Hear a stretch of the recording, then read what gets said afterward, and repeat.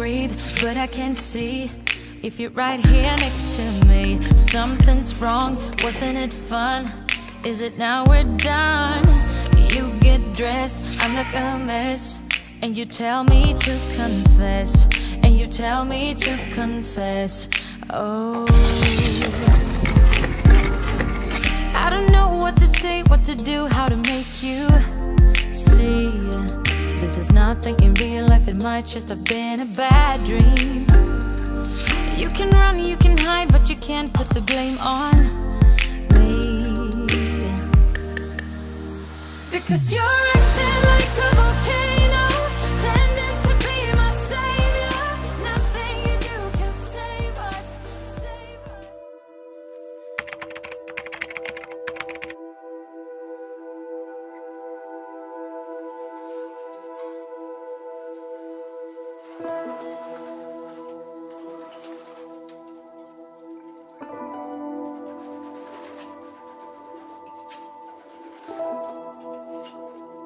Amigos colombófilos, nos separan ya 50 vídeos desde aquel ya lejano mes de junio en el que decidí dar forma a esta aventura de YouTube. La colombofilia es, sin duda, una parte muy importante en mi vida. Llenado de alegría, muchos momentos de mi vida, júbilo, lágrimas, tensión, ilusión. Es un deporte que merece sobrevivir.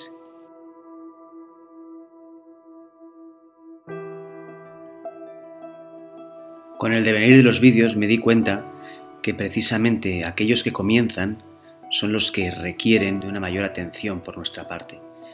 Es algo que, quizás al principio lo, lo, observaba de otra manera, pero me he dado cuenta que sin ellos no hay colombofilia, no la va a haber. Eh, he aprendido a amar este deporte de otra forma, eh, quizás con menos egoísmo, eh, de una forma más global, pensando en que la colombofilia, pensando en ella, pensando en, en lo que representa este deporte.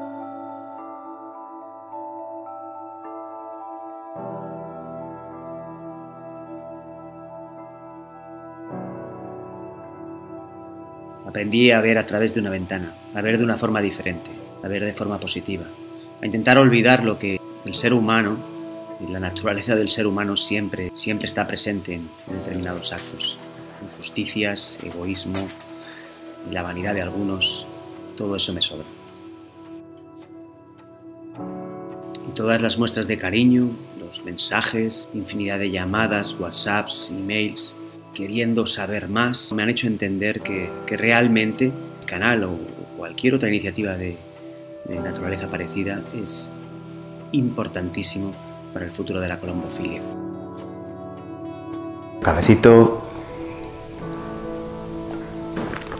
Qué bueno está el café. Bueno, pues cuando empiezas con las palomas, mmm, bueno, estás, totalmente verde, estás desorientado. Salvo que tengas algún tipo de noción o algún familiar haya tenido palomas, entonces pues te acercas a un club eh, o simplemente pues te acercas, vas al club, te, compañeros siempre están dispuestos a crearte unos pichones. Bueno, ahí se generan dos situaciones. Una, eh, eh, la alegría es acojonante, no hay roces todavía, no hay historias, no hay películas, ¿vale?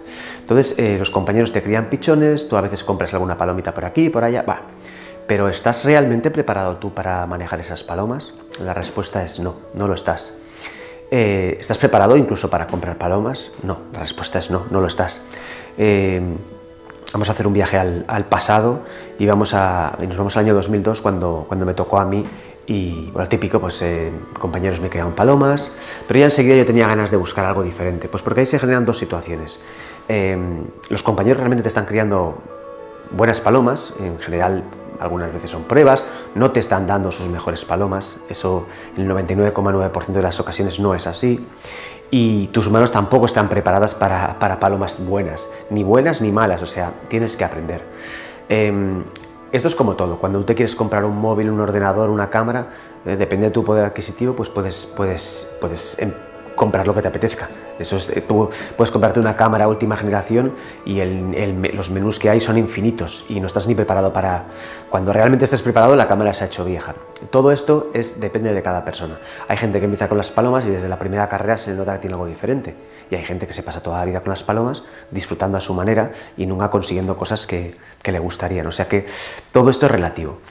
Eh, yo recuerdo cuando empecé con las palomas, pues los dos tres primeros años, si no me gasté 5.000 euros en palomas, no me gasté nada y no tenía ese dinero. O sea, me gastaba, bueno, no, no tenía hijos, pero me gastaba un dinero, yo no, estaba para gastarme esa pasta, pero, pero lo hacía pues porque la pasión por las palomas es muy grande. Em, después de haber probado las palomas que te dan al principio, pues claro, no vienen, pero no vienen no porque los compañeros se hayan portado mal, sino porque tú no estás preparado tampoco. Entonces es una mezcla. Luego te dedicas a comprar palomas y son palomas de, pues eso, de sitios lejanos, de cuanto más lejos mejor, porque así parece que no te engañan. Y así lo hice yo, pues eh, situaciones variopintas y, buscando una paloma que nadie se había dado cuenta que existía y, no te das cuenta y, en realidad la cagas. De aquellas palomas que yo compré mm, tampoco quedó nada, porque estaba en un periodo de, aprender, un periodo de aprender cómo funcionan las palomas, cómo funciona su manejo, manual de instrucciones. Entonces, em, ese dinero me lo podría haber ahorrado. Y cuando ya estás preparado, entonces cuando uno está dispuesto para decir, oye, pues realmente ahí las palomas sí que generan diferencias si tú, si tú haces, bueno, sientas las bases para que eso ocurra. Si no, no tiene ningún sentido. Entonces la reflexión de hoy era esa. Em, bueno, eh, ¿estás preparado para comprar palomas? ¿Estás preparado para, para manejarlas? Son, son cuestiones que, que, al final nos revelan que, que, sí, que tenemos mucha prisa, que, que todos eh, imaginamos, yo en mi primera carrera pues ya imaginaba que ya iba a ganar, o sea, yo soy competitivo por naturaleza, me daba igual que los compañeros, y claro, no la ganas, primera parte de mi primera carrera no llegaron palomas, llegó una paloma de, de 200 que enjaulamos, o sea, fue, fue una historia diferente. El año 2002, 2003, 2004 eh, no estaba preparado para comprar palomas, no lo sabía en aquel momento. Cada uno hace, cada cual hace lo que quiere con, su dinero y yo tenía mucha ilusión. Entonces, pues me gasté el dinero. Eh, ¿Compré buenas palomas? En general no, no las compré. Eh, tendemos muchas veces a, a... Es que, claro, para comprar palomas tienes que saber saber cómo funciona todo el proceso, toda la colombofilia, es como, como, un, estadio de fútbol, ¿no? como desde el utillero hasta el presidente, o sea, cómo funciona, cómo funciona la película. Y no, eres consciente, vas aprendiendo porque todo lleva un proceso, unos años. Eh, entonces, bueno, tíreme dinero. Eh, pero tirando el dinero también aprendes, ¿vale? O sea, aprendes a, no cagar en un futuro. Em, eh, en aquel momento pues pensaba que, era, que marcaría creía que la diferencia la generaban exclusivamente las palomas. Vale, sí, las palomas generan una gran diferencia, es un porcentaje muy amplio de, todo el pastel, pero, pero claro, tienen que estar bien llevadas. Entonces, cuando ya luego empecé a hacer un buen palomar, empecé a hacer las cosas que tocaban, empecé a construir, entonces las buenas palomas empezaron a llegar a, casas solas, las, las, empecé a fabricar yo y ahí empezaron a generarse diferencias. Luego el colombófilo, ¿qué ocurre? Que cuando tienes ya el palomar, eh, bueno, tienes una serie de, películas en la, cabeza, piensas que, entonces las diferencias las generan, por ejemplo, los productos, los potingues, y pasas por esa fase también. Y luego con el tiempo te das cuenta que entonces las buenas palomas en un palomar eh, eh, bueno, apto, donde no hay superpoblación, donde son bien llevadas y donde tú has desarrollado toda tu colombofilia. ¿Qué es desarrollarla? Desarrollarla es que puedas explicar a alguien, de confianza o no, cómo lo haces tú y basado en, experiencias, en cosas que has visto, en aquella paloma, en esto lo suelo hacer porque me funciona muy bien. Y entonces es cuando te das cuenta que las palomas sí que generan diferencias si son llevadas de una manera adecuada.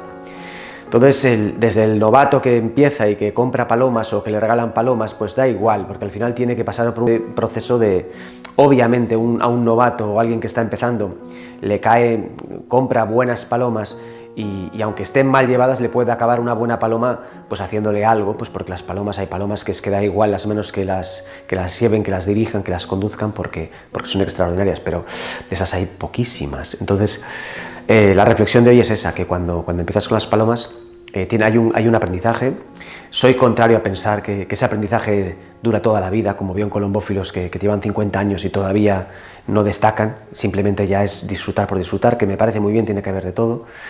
Em, pero yo creo que tiene hay un proceso de aprendizaje, pero que hay unas, unas, pautas y que uno puede disfrutar las palomas, pues no sé, pasado dos años, tres años, tiene que estar viendo ya frutos y todo para arriba. Em, pero aún así es, fase de, equivocarse. Bueno, nada, era una reflexión que he hecho hoy porque, bueno, porque me apetecía, pues porque pensaba sobre ello, muchas veces pienso en lo que yo he hecho con las palomas desde el principio y recuerdo, bueno, cuando compré aquellas palomas y y lo malo que yo era, lo poco preparado que estaba para, para aquello. Las películas, yo cuando empezaba, pues leía, por ejemplo, libros y leía que si las verduritas, que si la miel, que, todo esto está muy bien. Las palomas no te, lo van a, no te lo van a echar en cara, son productos naturales que les van a gustar, pero en sí esto no va a generar la gran diferencia con respecto a tus rivales. Consejo final para, para, para acabar. Eh, no paréis de aprender, no paréis de aprender, pero más importante todavía, no paréis de olvidar, no paréis de olvidar aquello que no funciona. Si no lo hacéis, eh, corréis el riesgo que al final no sepáis lo que funciona y lo que no. Descartad lo que no funciona. No paréis de aprender porque en el aprendizaje, en la innovación, en, la creación de cosas nuevas, no, quedarse en lo que se ha hecho toda la vida, eh, hay, un bagaje, un, oasis fabuloso. Pero por favor, no, no paréis de olvidar. Hay que olvidar aquello que no funciona porque corréis el riesgo que en unos años eh, volver a repetir las, las mismas historias. Con lo cual es importantísimo saber qué es lo que funciona y lo que no. Tenerlo claro, claro, no que te lo hayan contado, haberlo vivido.